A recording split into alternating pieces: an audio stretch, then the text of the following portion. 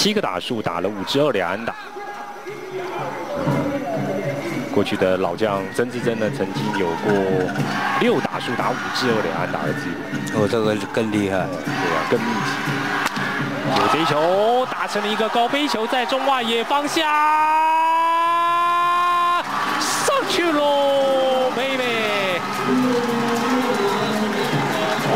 在讲一垒有空间的情形之下哦，如果还要拼的话，不跳，游泳而已了。哇，这个真的，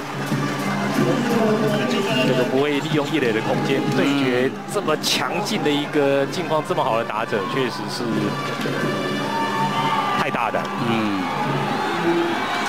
一棒呢被打了一支两分炮。林奕泉，哇，连续两天都敲全了一打。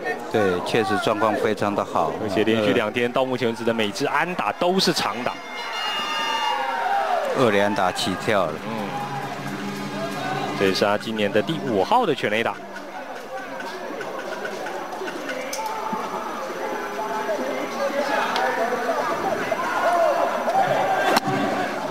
现在十比八，郑达宏来带长。嗯。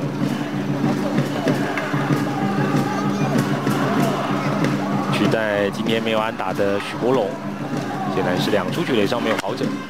这个球打到了左外方向，左外手手都被敲捡过来，来不及了，落地形成了安打。这球落点蛮巧妙。